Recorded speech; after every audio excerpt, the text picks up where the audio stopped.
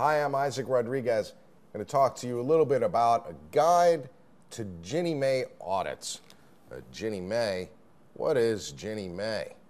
Well, it's the government national mortgage association. And this organization, established in the late 1960s, was put together to provide liquidity in the secondary market so that more people could get mortgage loans.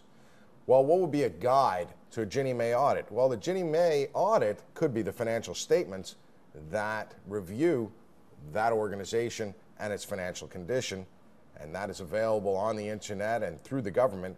You can read all of the notes on the Ginnie Mae audit to get a full understanding, and that is the best guide. Just go to it and start reading it.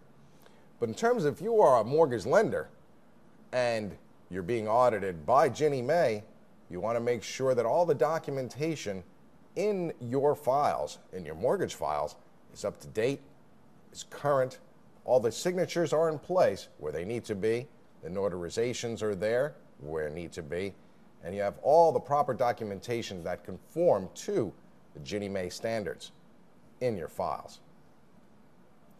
One of the ways that you can be prepared for a Ginnie Mae audit. Look at your files, make sure they're up to date. I'm Isaac Rodriguez. Thanks for watching.